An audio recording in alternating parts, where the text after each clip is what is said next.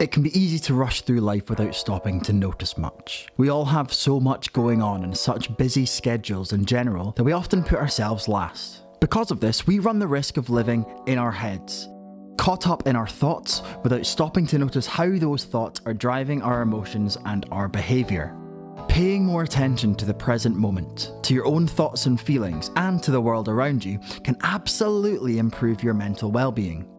And practicing mindfulness is a really simple way to do this.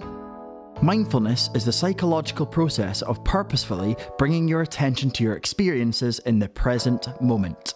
Becoming more aware of the present moment, our thoughts, feelings, smells, sights, tastes, and emotions can help us enjoy the world around us more and understand ourselves better.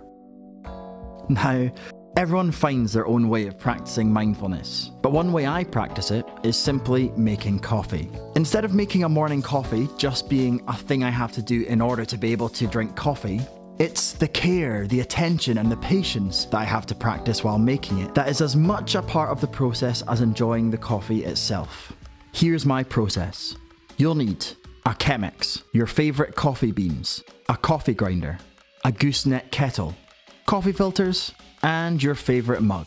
Start by filling and boiling your kettle. Then measure out your coffee beans.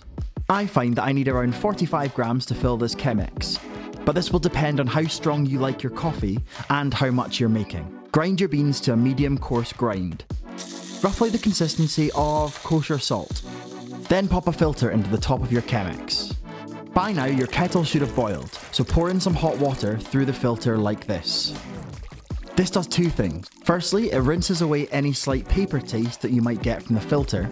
And secondly, it warms up the glass so that when you make your coffee, the cool glass doesn't just suck all of that heat out of it straight away. Dump this water into the sink.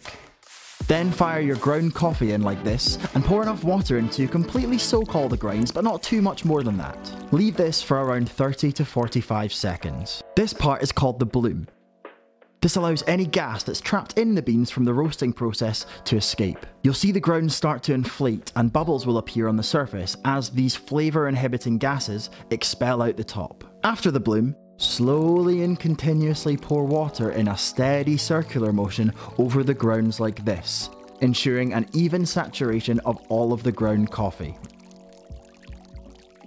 Now after around 3 or 4 minutes you'll have brewed enough coffee and you can toss that used filter in the bin. Now for the best part. Pour your perfectly brewed coffee into your favourite mug and enjoy.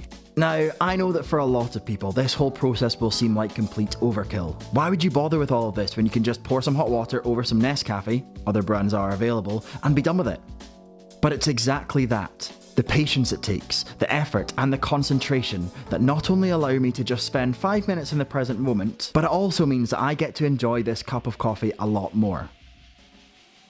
I earned